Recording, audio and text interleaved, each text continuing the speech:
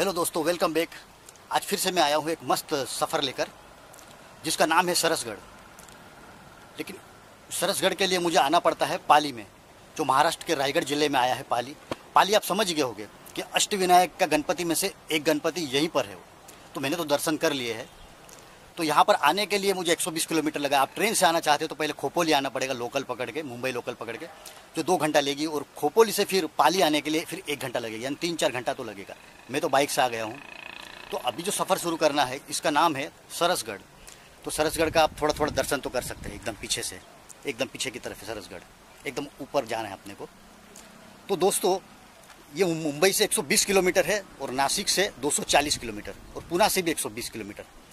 अब ये सरसगढ़ कितना सरस है। वो तो हमें ट्रैकिंग करने के बाद ही पता चलेगा। ज़्यादा डिस्टेंस भी नहीं, एकदम छोटा सा है 1600 फुट का कुछ डिस्टेंस है, जो हमें नॉर्मल डिस्टेंस कह सकते हैं। तो सफ़र शुरू करते हैं धीरे धीरे चलो देखते हैं।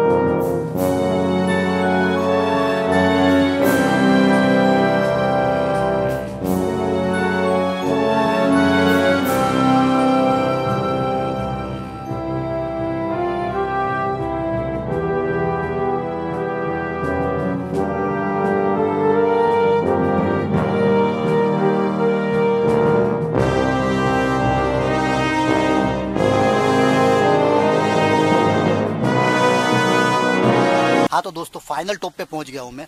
आप देख सकते हो कि वहाँ पर एक पीर बाबा का दरगाह है। यहाँ पर एक टेंपल है और एक तालाब है।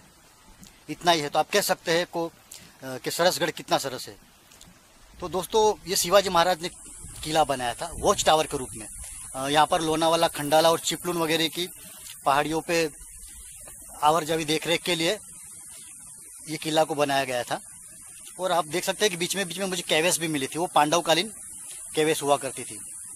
तो ये 1600 फुट का कुछ डिस्टेंस है, लेकिन बहुत ही हार्ड डिस्टेंस था। मुझे तीन चार घंटे लग गए, एकदम सीधी चढ़ाई थी। तो बहुत ही हार्ड कह सकते हैं। मुझे पहले नॉर्मल लगा। आप देख सकते हो दूर दूर तक कोई आदमी नहीं है। डर तो लग रहा है, लेकिन डर के आगे जीत है।